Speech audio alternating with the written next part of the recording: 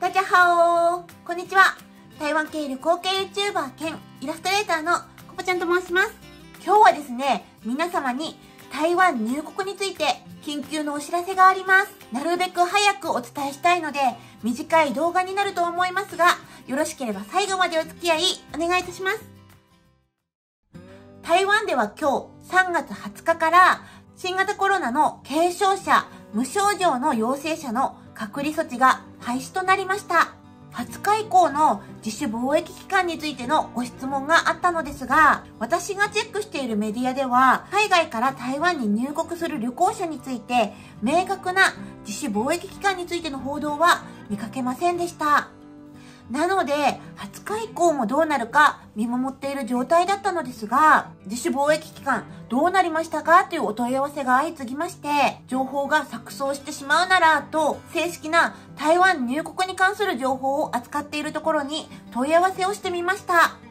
すると、なんと20日から自主貿易期間が撤廃されたそうです。今後、台湾は外国人旅行者入国に関しては制限なしの状態になったということです。本当に嬉しいですよね。しかし、日本入国については PCR の陰性証明かワクチン証明の必要がまだありますので、その点はお間違いなくお願いいたします。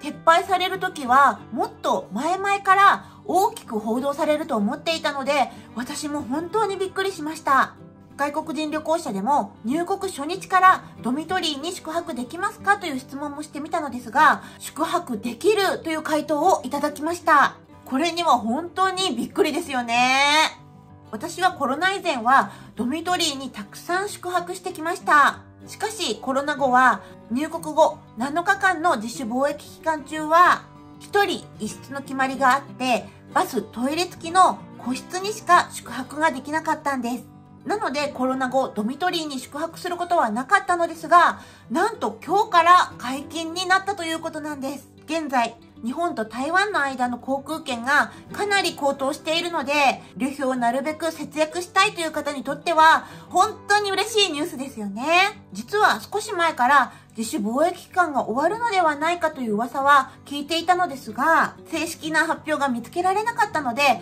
私は焦って間違った情報をお知らせしたくなかったので、正式な発表の確認を待っている状態でした。実は私来週から台湾に行く予定なのですが、宿の予約が変更できるかどうか今から確認してみたいと思います。それでは今日の動画は以上になります。最後までご視聴くださいましてありがとうございます。今後も台湾に関するニュースや台湾の旅行動画をアップしていきたいと思いますので、よろしければ高評価、チャンネル登録お願いいたします。